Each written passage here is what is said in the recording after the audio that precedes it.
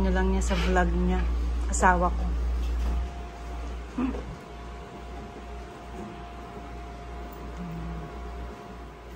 Nung nakaraan, nantay ko kayo. Walang, hindi kayo dumating.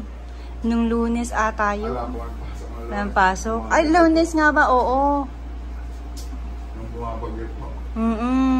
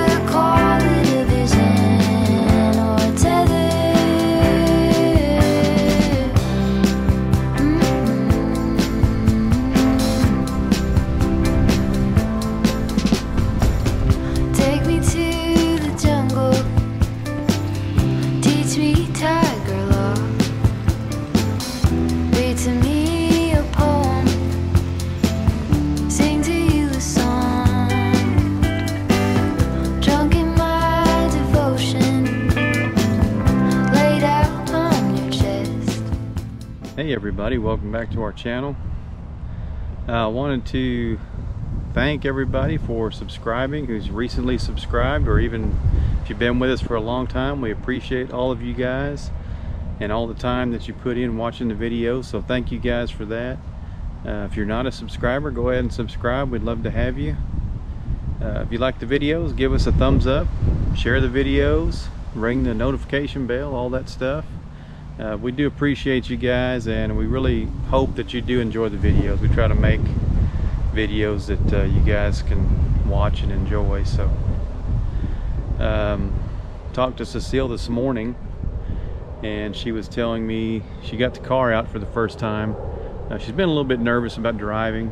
She's not used to driving there in the Philippines uh, lately. She hasn't done it in a while. She's drove here in the U.S., but not much in the Philippines. It's a little bit different over there. I Had to put my wind cover on the camera. The wind kind of picked up a little bit. Don't want to mess up the sound. But uh, yeah, I was talking to Cecile. She got the car out uh, for the first time and was driving it. I think she went to the mall and back or something, but there was a trash truck collecting trash and I guess they had thrown a board out that had some nails in it and she wound up driving over it and noticed when she got back that her tire was leaking air so she's got a flat tire. First time taking the car out. Um, so not real good luck so far. And I told you guys about when they were coming back from the airport when her brother picked her up in Manila they hit a dog and they also had a car in front of them the wheel came off and almost hit their car. So the roads there can be a little bit hazardous. You got to be careful and keep your head on a swivel as they say. So Cecile's been starting in on some of our projects there. We just got some small home projects that we're going to do this time around and she's kind of getting started on some of those. So I'll show you guys her latest uh, experience there with some contractors. Um, I think we're gonna do just a handful of things this year nothing major. We've got a roof leak that we got to get fixed and some damage to the back porch ceiling uh, related to the roof leak. Uh, we got some uh, electrical work we want to try to do this year and a bathroom door to put on and just some small stuff like that. So we'll try to get some of that stuff taken care of this year. She's going to get started on some of that. Um, when you're looking for a contractor, it's always kind of difficult for us over there. They don't have near the advertising that you would have here in the US. So you can look on Facebook sometimes to find people. They'll have a Facebook page. Uh, word of mouth, you know, ask around people that you know. If there's someone that they know in a certain type of business or that they've contractor that they've used maybe in the past that they're happy with. But finding a contractor sometimes can be a little bit of a challenge. So she's going to be the one doing that right now. And also another thing is finding someone who does good work, does a good job for you. And something that we always think about is, uh, you know, what kind of price are they going to give you if they realize that she's married to an American. Uh, you know, you're always going to have the possibility of getting the foreigner pricing.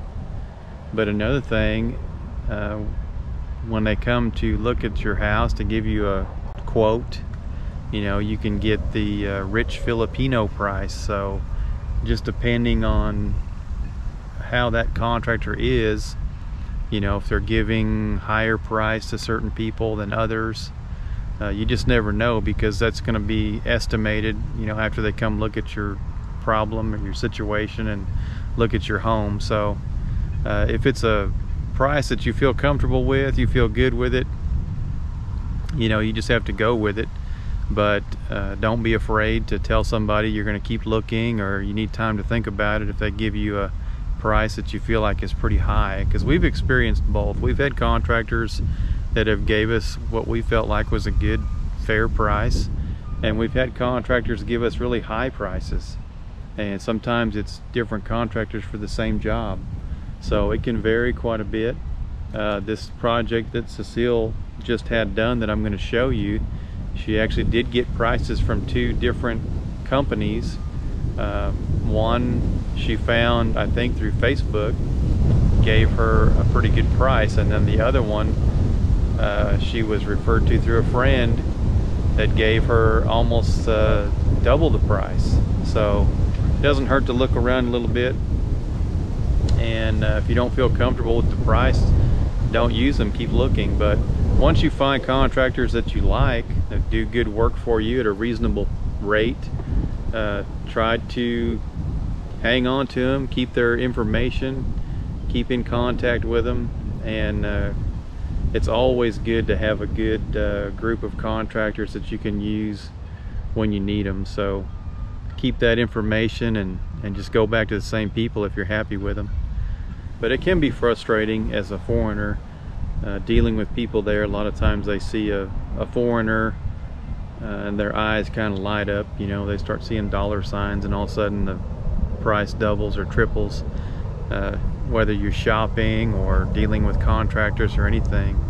Uh, that's just how it is sometimes and you know uh, try not to let it upset me or anything but if I feel like they're doing that I'm just going to keep looking or go on to the next person. I don't like to just say, oh, you know, it's fine, just pay it, whatever they say. I don't really like to reward that kind of behavior. So if I feel like we're being taken advantage of or not being treated fairly, uh, then we'll just try to move on to somebody else.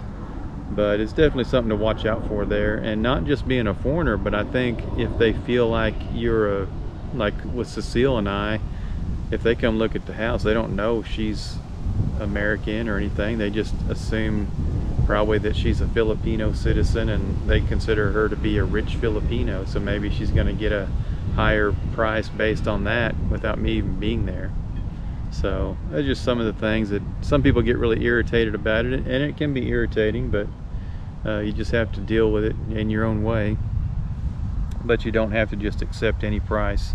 So what we did, uh, the project we did this time was uh, air conditioning cleaning, air conditioning maintenance. We've got three air conditioning units that are all pretty new, but we've never had them serviced since they've been in. Uh, one or two of them has been a couple of years, and the last one's been in about a year. We don't use them a lot, but uh, we wanted to go ahead and have them cleaned just to make sure they were uh, not too dirty or anything. I didn't really know how quickly they would get dirty there.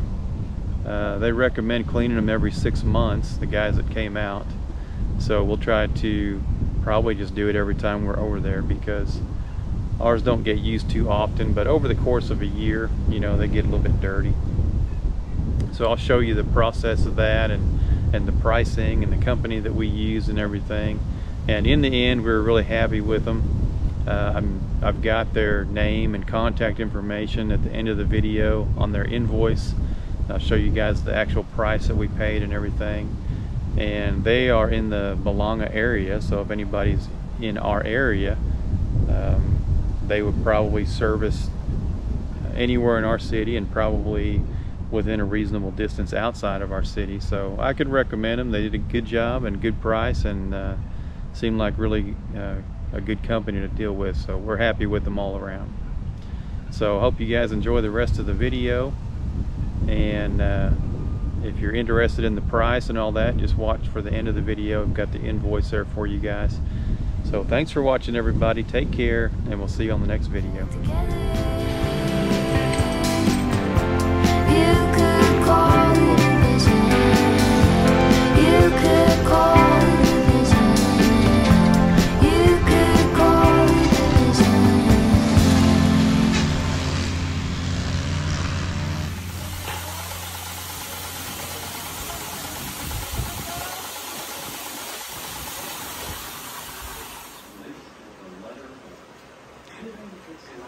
kada ilang buwan siya bago malinisin ulit? Every- Pag kahit 6 months pwede na po. Ah, six months. Pag hindi siya ganong nagagamit. Oh, Pag okay. lagi po mga 4. Four months. Okay.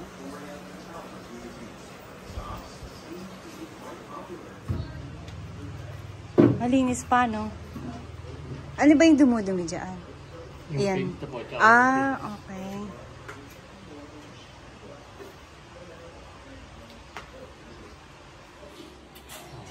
Na? Marami dyan yung likod. Ah, yung likod. Pero ito yung ma Hindi malinis. pa ganun karami na. Ha? Hindi pa hindi ganun kadami po. Oo, hindi pa.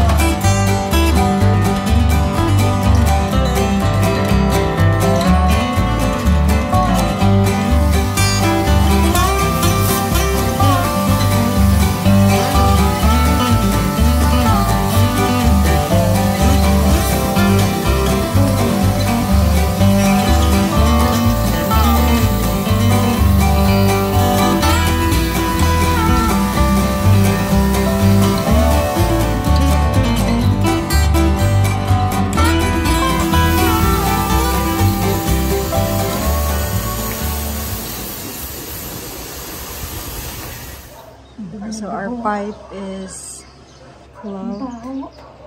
bago